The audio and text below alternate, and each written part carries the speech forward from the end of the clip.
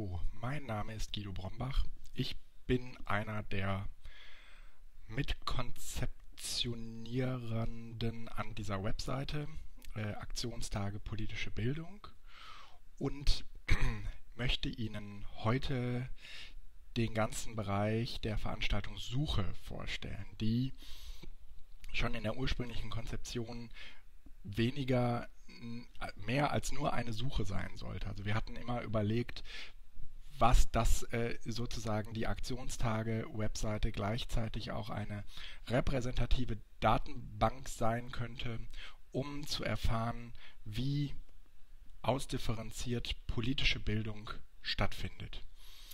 Dazu ähm, möchte ich äh, Ihnen heute vor allen Dingen diesen Menüpunkt Veranstaltungen ein wenig näher bringen. Beginnen tun wir Achso, und insgesamt brauchen wir wahrscheinlich so um die fünf bis zehn Minuten. Beginnen tun wir mit dem Veranstaltungskalender. Der Veranstaltungskalender ist eigentlich so eine Art chronologische, ähm, chronologische Sortierung aller Seminare, die innerhalb der Aktionstage, dieses Aktionstage-Zeitraums, also zwischen dem 5. und 23. Mai in diesen 21 Tagen oder auch drei Wochen, gemeldet wurden. Insgesamt sprechen wir von äh, Heute Morgen waren es noch 173 Veranstaltungen, äh 273 Veranstaltungen, also relativ vielen.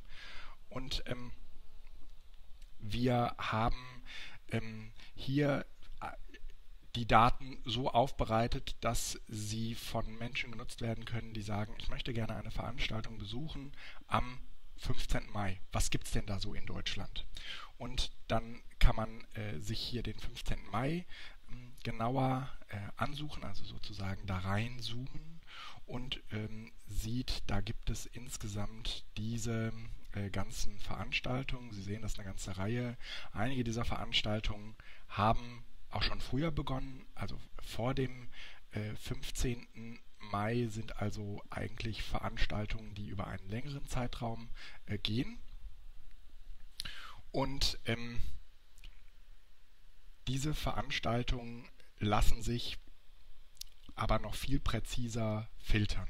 Dafür haben wir eine Suchmaske eingerichtet, die unter dem Menüpunkt Veranstaltungen suchen zu finden ist.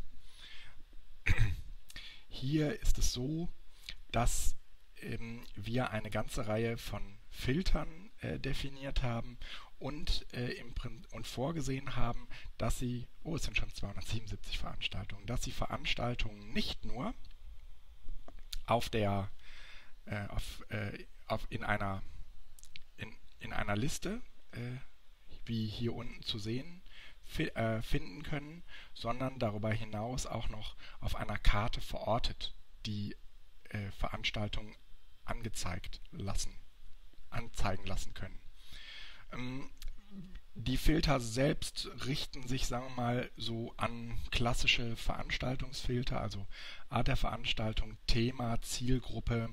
Das sind alles ähm, Kategorien, zu denen die Veranstalter, die die Veranstaltung gemeldet haben, vorher präzise ihre Veranstaltung zugeordnet haben.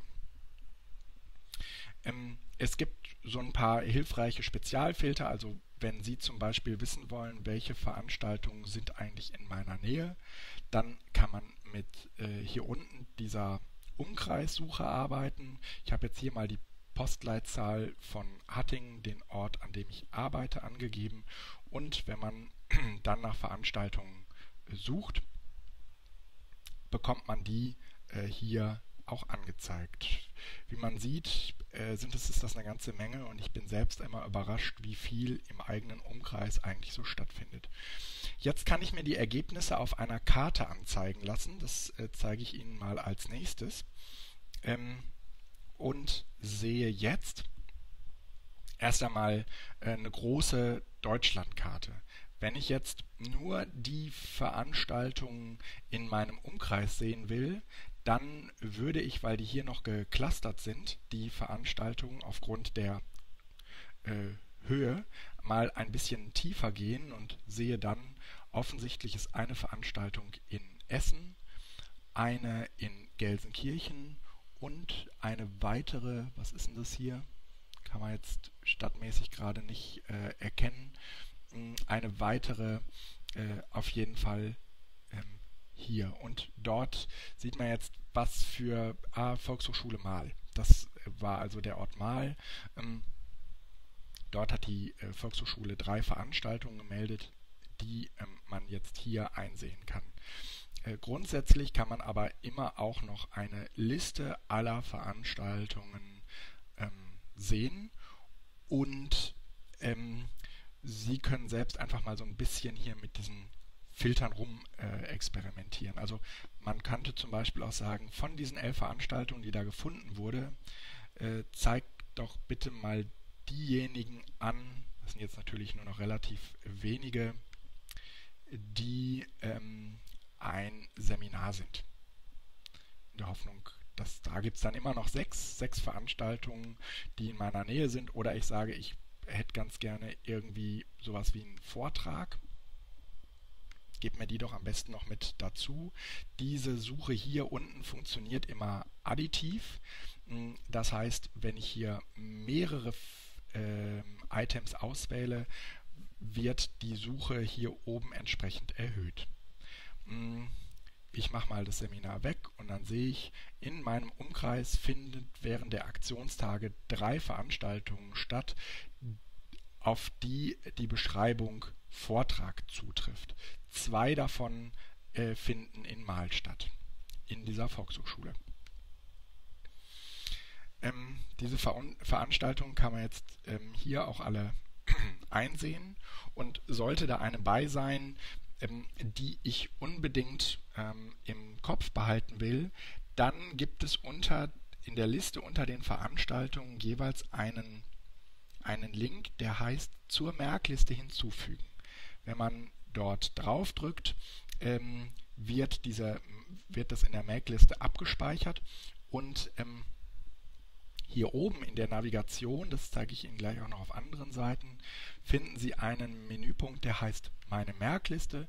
Wenn man darauf drückt, dann werden dort alle Veranstaltungen gesammelt, die äh, ich in meine Merkliste gepackt habe. In dem Fall handelt es sich um diese beiden Veranstaltungen. Ähm, ich kann die hier auch entfernen. Ich kann äh, sie auch drucken, also mir äh, ausdrucken lassen. Mm, das kann man vielleicht hier ganz schön sehen. Dann hat man so eine Druckvorschau. Äh, ähm, ganz hilfreich, wenn man irgendwie sagt, naja, für heute Abend habe ich auf jeden Fall vor, da noch hinzugehen. Mm, gleichzeitig besteht aber auch die Möglichkeit, diese Veranstaltung in den eigenen Kalender zu exportieren. Dafür äh, lädt man sich eine sogenannte ICS-Datei herunter und wenn man die dann öffnet, dann öffnet das normalerweise mit der standardmäßigen Kalenderansicht und hier kann man das ja dann in seinen eigenen Kalender direkt rein integrieren und äh, wird dann auch äh, eine, zu der entsprechenden Zeit, am entsprechenden Tag daran erinnert, dass die Veranstaltung bald beginnt und dass man da ja unbedingt hingehen wollte. Das äh, ist eigentlich dieser ganze äh, Blog. Ich möchte ganz gerne eine Veranstaltung finden. Mm, hier auf dieser Veranstaltungskarte, ähm, das ist nochmal äh, ein spezieller Menüpunkt. Wer äh, sagt, ich möchte mich dem sowieso irgendwie auf Kartenbasis nähern, der kann auch direkt diese Filter benutzen.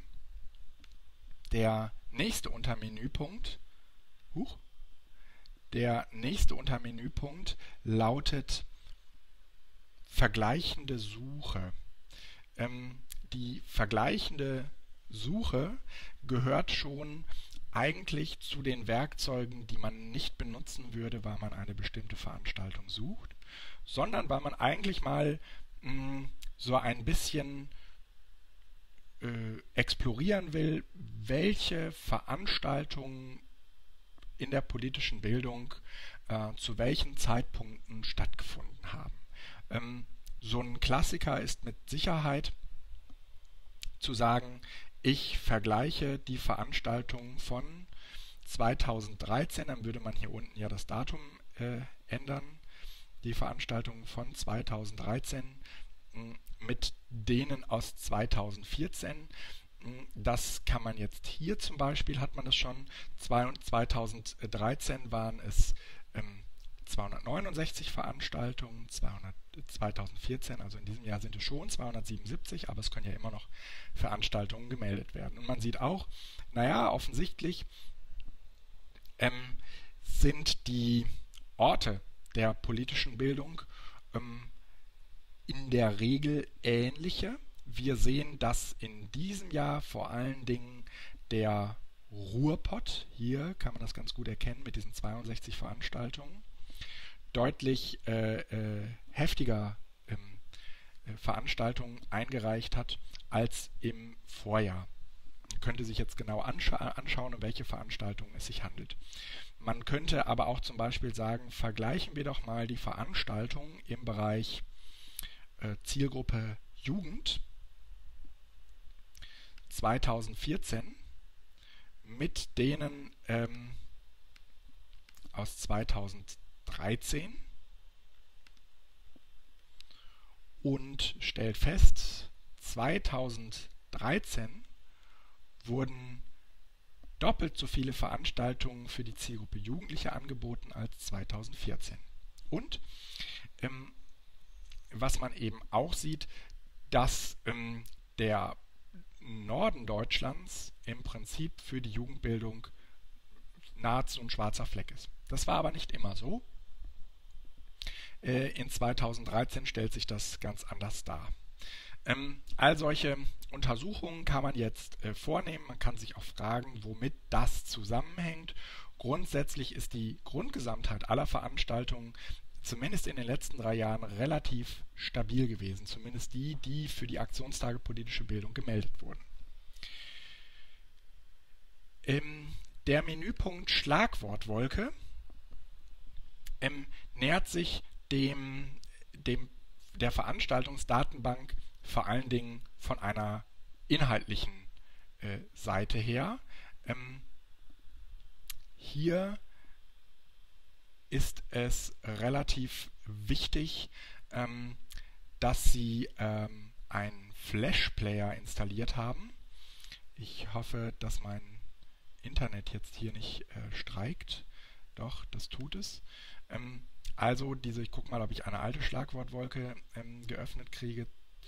Ähm, ja, so sieht eine Schlagwortwolke aus. Ähm, hier kann man auf einzelne Begriffe klicken. Je größer der Begriff, umso häufiger kommt er in den Veranstaltungen des jeweiligen Jahres vor. Je kleiner der Begriff, umso weniger äh, finden wir diesen Begriff äh, als also in den Veranstaltungen vorkommt. Die Begriffe sind verlinkt. Wer also auf äh, Europa klickt, kommt auch auf eine Veranstaltungssuche ähm, nach von Veranstaltungen zum Thema Europa im Jahr 2013.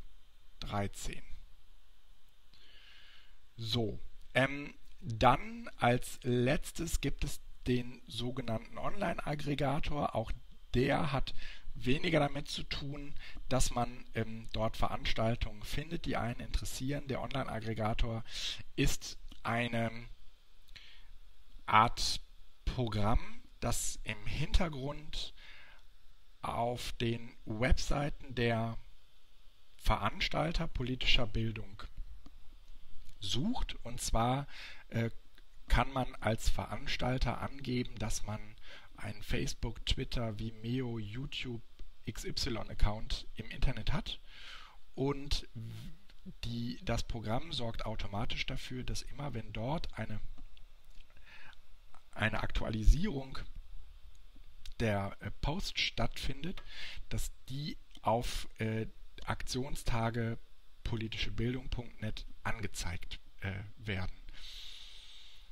Das hat zur Folge, dass hier dieser Aggregator eigentlich so eine Art Live-Ticker äh, der politischen Bildung in Deutschland wird und man selbst eigentlich ähm, sich ganz gut darüber informieren kann, was kommunizieren die Veranstalter politischer Bildung mit ihren, mit ihren Zielgruppen, welche Nachrichten über welche Kanäle zu welchen Themen.